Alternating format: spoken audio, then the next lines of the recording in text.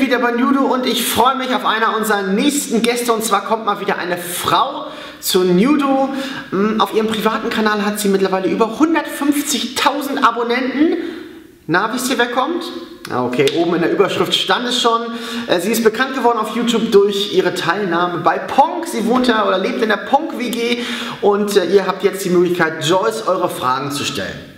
Entweder hier unten per Kommentar oder man soll ja auch eine Videoantwort jetzt in die Kommentare posten können, weil sie uns die Funktion hier auf YouTube geklaut haben. Äh, sonst findet ihr auch unten in der Beschreibung den Link zu unserer Facebook-Seite.